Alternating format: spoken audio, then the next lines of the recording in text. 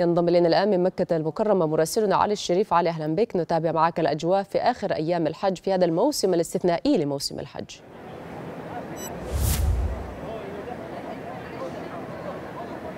نعم داليا بالفعل. هو اليوم هو آخر يوم لمناسك الحج وآخر يوم كذلك للحجاج. في ثالث أيام التشريق بعد أن رموا الجمرات والآن يتوجهون إلى المسجد الحرام لأداء طواف الوداع. كما تشاهدون في الصورة من خلفي هناك حشود كبيرة من الحجاج الذين يتوافدون. والمشهد من حولي يوحي بكثير من الانسيابية والحركة المنظمة لدخول الحجاج وخروجهم.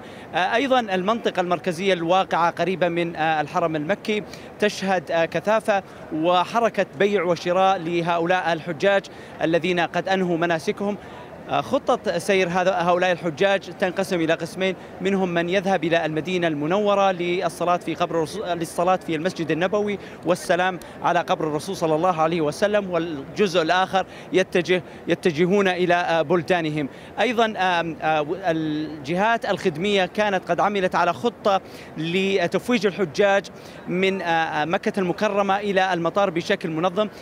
كذلك هناك تجهيزات وممرات مخصصة وصالات تم تخصيصها للحجاج في مطار الملك عبد العزيز. أيضا هناك أهابت وزارة الحج والعمرة بضرورة التأكد من جدوله رحلات الحجاج والتاكد من مغادرتهم بشكل انسيابي. أيضا شددت على ضرورة عدم ذهاب الحجاج إلى المطار دون أن يكون هناك حجز مسبق.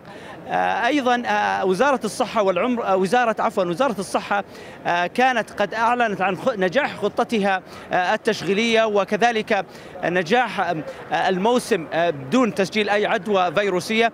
أمير منطقة مكة المكرمة نوه بهذا النجاح الكبير وشدد على أن المملكة العربية السعودية ترتكز على خبرات كبيرة في تنظيم الحج. نعم داليا.